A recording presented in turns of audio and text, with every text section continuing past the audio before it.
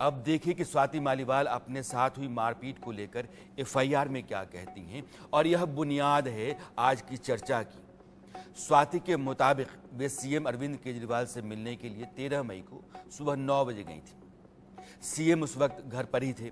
उनको कहा गया कि आप ड्राइंग रूम में बैठिए, सीएम आपसे मिलेंगे। स्वाति जब इंतज़ार कर रही थी, तभी तनतनाते हुए विभव कुमार कमरे में आए और चिल्लाने लगे। वो स्वाति के पास चिल्लाते चिल्लाते आ गए। आते ही उन्होंने स्वाति को कम से कम सात, आठ बार थप्पड़ मारे। स्वाति के मुताबिक मैं सदमे में आ गई और चोट के चलते चिल्लाने लगी। बचाने के लिए आवाज़ लगाने लगी। मैंने अपने पैर से विभव को दूर धकेलना चाहा, लेकिन वे मुझ पर झपट पड़े। उन्होंने मुझे खींच लिया। मेरे सिर को पकड़कर सेंटर टेबल पर दे मारा। मैं बचाने के लिए लगातार चीखती रही, लेकिन कोई बचाने नहीं आया।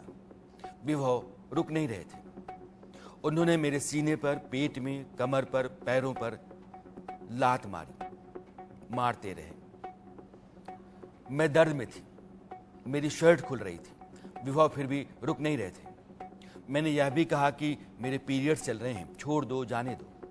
लेकिन उन्होंने मुझे पीटना नहीं रोका।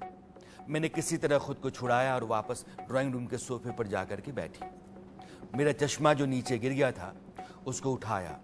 मैं बेहिसाब सदमे में थी और बहुत डर भी गई थी।